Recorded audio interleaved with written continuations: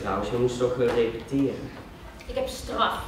Vandaag bezoekt Theater ANZ onze school.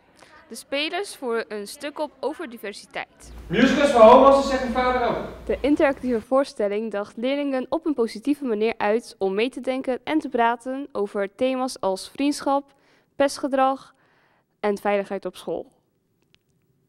Hallo, wie ben jij?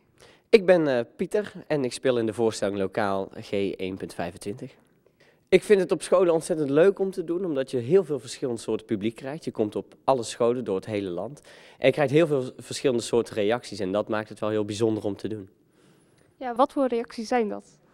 De reacties die lopen ontzettend uiteen en het maakt niet uit in wat voor plaats of eh, juist in een stad of in een dorp.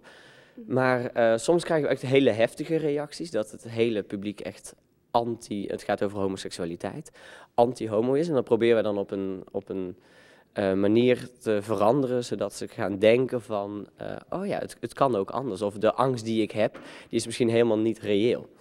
En soms krijgen we ook hele positieve reacties en dan gaan ze echt staan voor, uh, voor, voor degene die gepest wordt. En, en, dat is vaak ook heel mooi om te zien. Hoe vonden jullie de voorstelling? Leuk, interessant. Heeft het je ook een beetje aan het denken gezet? Ja, ik had er wel vaker over nagedacht, maar ja, wel een beetje. Ik had niet verwacht dat het zo extreem zou zijn. Uh, wat vond je het meest uh, bijzondere? Ja, dat ze hem eigenlijk zo, en haar ook, zo buitensloten. buitensloten. Ja, ik vond het wel heel schokkend, want ja, als er iemand dan uit de kast komt of zo, dan is, vind ik het al moeilijk om te verwerken. En ja, het is eigenlijk wel erg dat, dat de mensen in Nederland, dat die gewoon, ja, dat, dat, dat die dat niet accepteren.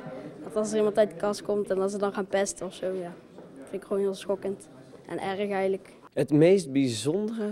Um, nou, soms dan komt er iemand uh, uit de kast tijdens de voorstelling. En, uh, of daarna, dan komen ze naar ons toe en dan gaan ze echt staan voor, nou, ik ben ook uh, homoseksueel of lesbisch. En dat zijn vaak hele mooie momenten, omdat je dan echt ziet wat de voorstelling doet voor, voor deze mensen. Toen wij suggesties moeten geven wat ze hadden kunnen doen, toen, ja, toen liep het heel anders. En uh, ja, dat liet wel zien oh, dat het zo beter had kunnen gaan. Wat zou jij doen als jouw beste vriend uit de kast kwam? Ja, dat zou ik heel moeilijk vinden. Maar ik zou er... Uh, ja, je bent toch al langer vrienden. En of je het nou zegt of niet, verandert eigenlijk niet zoveel. Dus ja, ik zou wel aan moeten wennen. Wat zou je nog tegen de leerlingen willen zeggen? Het belangrijkste is dat je denk ik elkaar gewoon met respect behandelt en elkaar in de waarde laat. En dat is denk ik waar deze voorstelling over gaat en wat wij proberen door het hele land uh, te bereiken. Oké, okay. dat is hartstikke mooi. Bedankt voor de interview. Nou, jij bedankt.